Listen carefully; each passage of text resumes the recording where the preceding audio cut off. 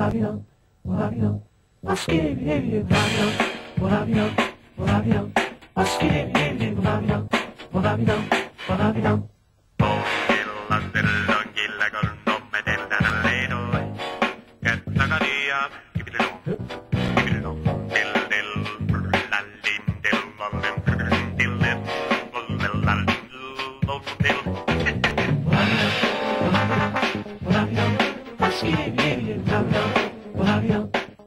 ocasión nos hemos trasladado dentro de la finca Valpiedra a lo que es eh, la tienda. Pero antes de, hablar de la tienda, permitirme que os hable de esta revista, que es la revista Dato, que es la información sobre Vizcaya. Una revista que habla curiosamente del mundo de empresa, pero lo hace desde un, punto, mm, desde un punto de vista ameno, entretenido, con una maquetación eh, actual, moderna, digerible, eh, con un formato creo que muy cómodo, y muy leíble, que se dice. Y además en este número, la gente de la revista Dato nos va a hablar sobre, sobre la confederación, sobre Confebax, que llega ya a los 25 años, sobre cómo es un día en la vida de Julia Madrazo. ¿eh? La, han seguido durante todo un día y nos ha contado cómo, cómo, cómo lo hacen. Y una cosa muy curiosa que hace el tranvía de Bilbao Euskotren, mm, que es alquila el tranvía para poder celebrar fiestas, eh, bodas, etc, etc.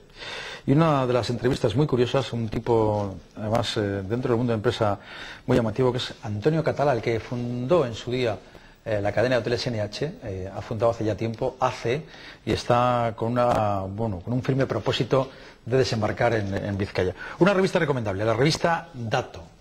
Y otra de las cosas que es muy recomendable, le voy a quitar de este portafolio porque yo lo tengo aquí bien cuidadito, plastiquito para que no se me estropee, pero vamos a hacerlo bien porque además el diseño lo ha hecho nuestro compañero eh, Iker San Vicente. El próximo viernes 28 de noviembre y el sábado 29 a las nueve y media, eh, eh, cena afrodisíaca. eh, una cena que, además de ser sugerente, muy sugestiva y curiosa, la gente a la visita hemos organizado para, bueno, pues para juntarnos ahí unos cuantos y hablar de lo divino y de lo humano.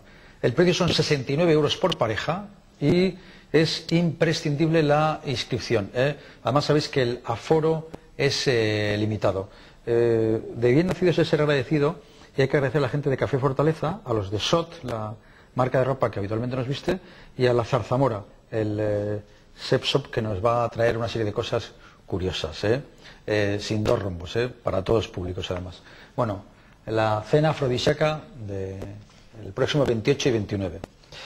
Y decía, antes de despedirme, antes de, de Enrique, el director de, de la bodega finca eh, Valpiedra, que claro, habrá vino. Y estábamos antes hablando y no había, en una sala de barricas había mucho vino en eh, presencia, pero no se veía. Y ahora nos hemos venido. Esto es la tienda, ¿no? Efectivamente, Javier. Estamos hablando con Pedro. Tú eres. eh, ¿Cómo te pidas, Pedro? Eh, León, el primer apellido es fácil. Pedro León. ¿Y el segundo? García de Olano.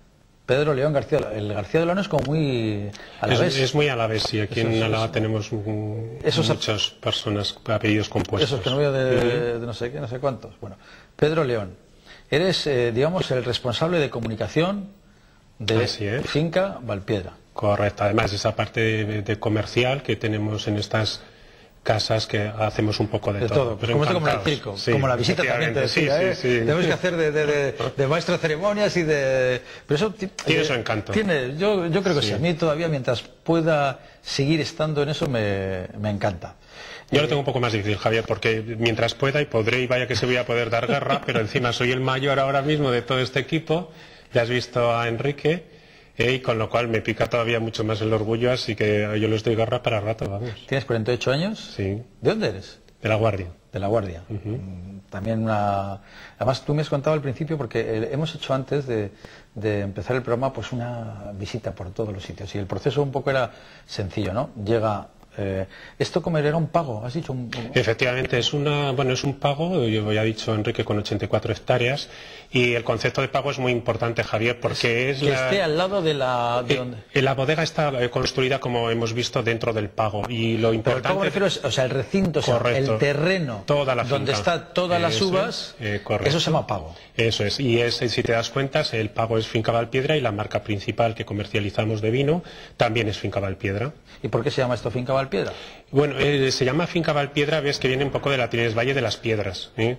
Y eh, es una zona que el suelo aluvial, el diseño que estamos viendo constantemente en todas las cajas, etiquetas, etcétera, no es, eh, un- bueno, sí que lo es, un diseño y es un gráfico, ¿no? Pero está reflejando una vez más en el concepto de pago este canto rodado o este grijo que predomina en prácticamente la totalidad de, la finca, estas 80 hectáreas, tiene un manto más o menos eh, de unos 20 centímetros y, mm, Importa mucho resaltar esto porque tiene en nuestro terreno, que es fantástico, un aporte mineral extra y además daros cuenta de la insolación, estamos en un sitio privilegiado, que las uvas van a reflejar, el sol, mejor dicho, va a reflejar sobre los grijos, eh, teniendo una mayor insolación.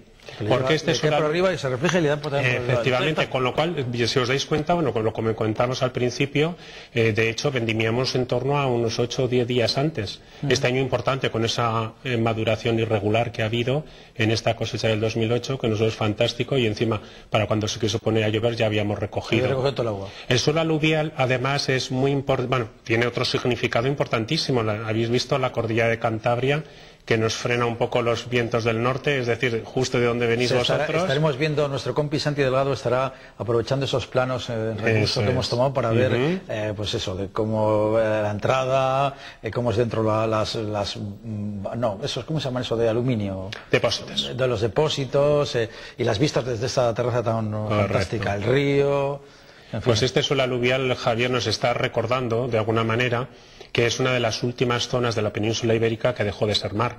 He daos cuenta que venís de Bilbao y que enseguida podríamos cruzar por la, por la Sierra de Cantabria. Entonces, eh, son muchas cosas. Como hemos comentado en algún momento de la, eh, de la visita, es, eh, de tiempos inmemoriales podríamos hablar del mundo del vino, pero bueno, 3.000 años antes de Cristo. Pero yo creo, Javier, que es mejor que, nos, que, que- que regresemos a la actualidad. Sí, lo decía, eh, eh, pero el proceso es, tenemos, es un pago, Finca Valpiedra es un pago porque todas, digamos, eh, las uvas están en el mismo sitio. Correcto, sí. Eh, por lo que me has dicho antes, se vendimia durante 8 o 10 días, que son en septiembre, ¿no? Finales de septiembre. A finales de septiembre se recoge sí. la uva, Sí. la uva en, la- eh, en cajas eh, se lleva a un depósito, ¿no? A un, ¿cómo Se llama? despalilla primero Se des- y luego efectivamente, ya veo que te has aprendido muy bien la se lección. despalilla es quitar Sí. todo lo... Es, es separar la parte vegetal, lo que es el raspón, o sea, todo el esqueleto de la uva, de la pulpa, de la pulpa junto con las semillas, las pieles, es lo que vamos a meter en los pe- pequeños depósitos de fermentación que hemos Eso se lleva viendo. una especie de máquina que he visto que... Eso es, hace- esa es la despalilladora. Se- Eso de ya a pie ya no se hace, ¿no? No, Este- ahí, como habéis podido ver, que parece se, se asemeja un poco más a la NASA, Sí, sí, y es- entonces nos destruimos por completo el mito El del mito pisado de- de la uva con el pie. Entonces hay unas prensas, me has dicho, y a partir de allá van toda esa especie Eso de es. mm, Depósitos. depósitos que, que- se hacen inoxidables. ¿Cuánto entra en cada depósito? 25.000 litros. 25.000 litros. Y 25.000 litros salen, pues eso, unas 25.000, 30.000 botellas. Sí, pues aquí son todos vinos de crianza y reserva, entonces va a ser un rendimiento de un 0,70 o algo así. Y, o sea, todo lo que vendimiáis, o sea, lo, eh, dura- durante, lo- durante el resto del año, desde que habéis dejado hasta el siguiente, se va otra vez cultivando toda la uva. ¿No? Correcto, sí. Para volver a recogerla. Sí. Y me has dicho que la gente que viene de. que la, que la recoge viene de Jaén. Sí, eh, es curioso, bueno, curioso, quiero decir que son... Digo por la similitud de la, la uva y la, y la, Y la aceituna. y la la aceituna. oliva, sí. Ah. Bueno, también Jaén este es, es zona de vinos, pero muy muy diferentes a los de Rioja, ¿no? que estamos hoy aquí. Esta cuadrilla lleva muchos años viniendo, subiendo, primero, como comentábamos, a la, espe- todo lo que son trabajos manuales, a la espergura y al desniete, el desnietar, y luego, como no, a la, a la vendimia, que aquí, como ya hemos hablado, dentro del pago se hace por con cajas.